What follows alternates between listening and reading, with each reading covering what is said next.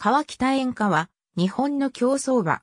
主な勝ち倉は2018年の中山牝馬ステークス。馬名の意味は冠名演歌。2016年11月の2歳新馬でデビューし、優勝。続く2戦は敗れたが、2017年3月の君子乱賞で2勝目を挙げると、抽選を突破して、桜花賞へ出走。大外枠から後続を大きく離す逃げを打ったが、最後の直線で失速し7着に敗れた。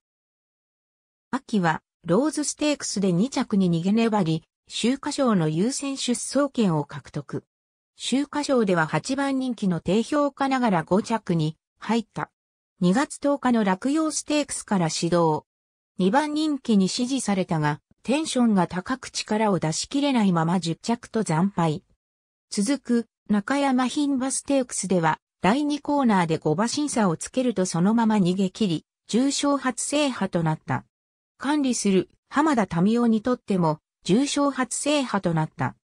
しかし、その後は勝ち星を挙げられず、2019年の福島、牝馬ステークス9着を最後に、心臓疾患のため現役を引退することになった。引退後は、生まれ故郷の木田牧場で繁殖牝馬となった。初年度はルーラーシップが種付けされ受胎していたが、2019年の暮れ、持病の心臓疾患が再発し、受胎していた子とともに死亡した。